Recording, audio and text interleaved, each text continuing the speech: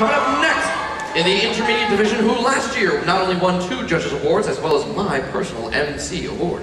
This is group number 16, brought to you by Chris Sprague, Rebecca Hahn, Ryan, this is so good. So good. Ryan Guerrero, Shannon Kiley, and Aaron Kutu. From the same people who brought you Anime Celebrity Jeopardy, let's introduce a new classic in five, four, three,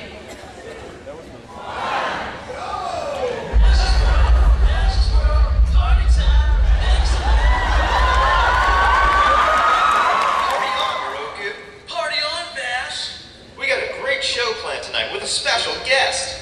I hope it's a cutie. Last time we had that Sephiroth guy. Yeah, with that long hair, I thought he'd be a rocker. But it turns out he just cried about his mommy. Not at all. Speaking of cuties, I saw someone that definitely deserves a salute. Rei Ayanami for the lollipop. Sweet! She wouldn't be our guest tonight, would she? Yeah, in our dreams. But they do have something to do with your Gundam figures. A greasy otaku fanboy? No, no, it's the new lead mechanic from the Gundam series, Winry Rockbell. Nice toolbox. So what can you share with us today?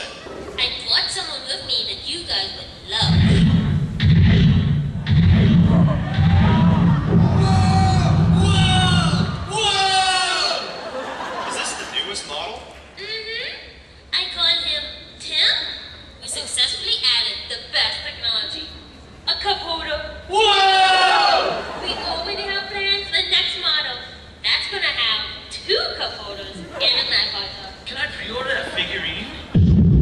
Oh, who's gonna be piloted by emo kids? To help end the show, let's do a top five epic anime endings. And kicking us off at number five is Naruto. It's still going on. What's it? I've always wondered, where do good anime go when they die? Adult Swim.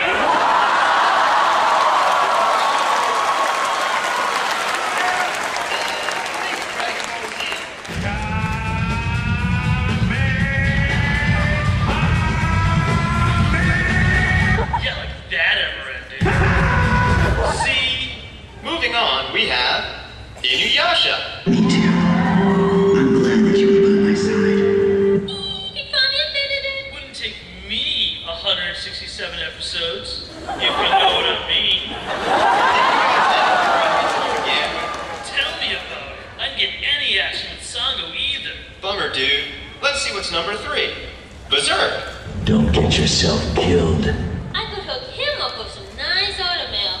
Speaking of that, No, no, I'm good. just a little people could, right?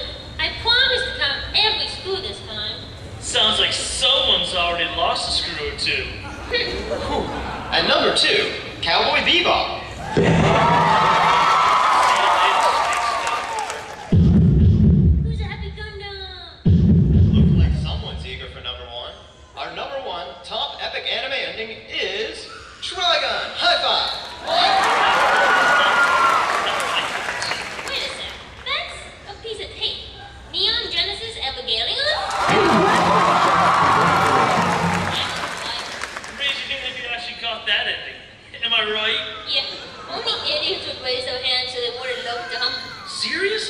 I'm an intellectual. How could you not get it?